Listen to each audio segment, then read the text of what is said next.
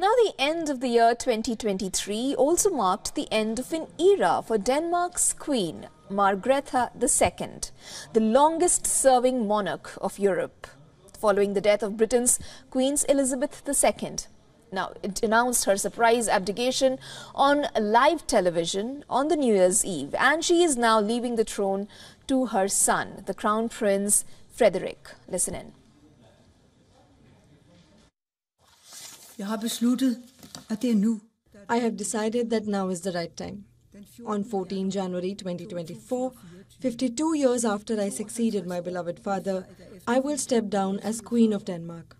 I leave the throne to my son, Crown Prince Frederik. Jeg overlader tronen til min søn, kronprins Frederik. Well, the 83 year old took over the throne from her father in the year 1972. In July, she became the longest sitting monarch in Denmark's history.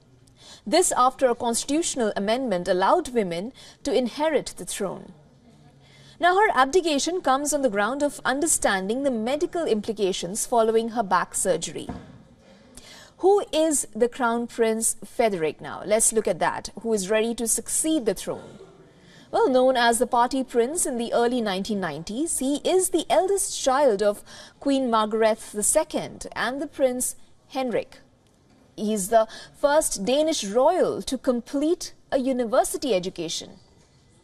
Frederik served as a staff officer at Defence Command Denmark from the year 2002 to the year 2003. And a fun fact here, he was nicknamed Pingo Crown Prince Frederik is married to Mary Elizabeth Donaldson, who is an Australian marketing consultant.